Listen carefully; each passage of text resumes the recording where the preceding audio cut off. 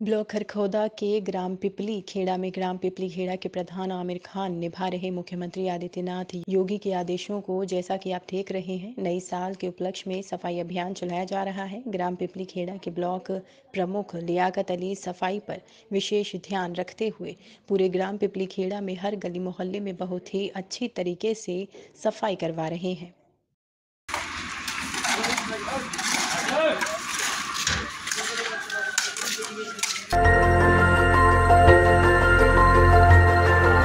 देखते रहिए डीबी भारती समाचार नज़र हर खबर पर।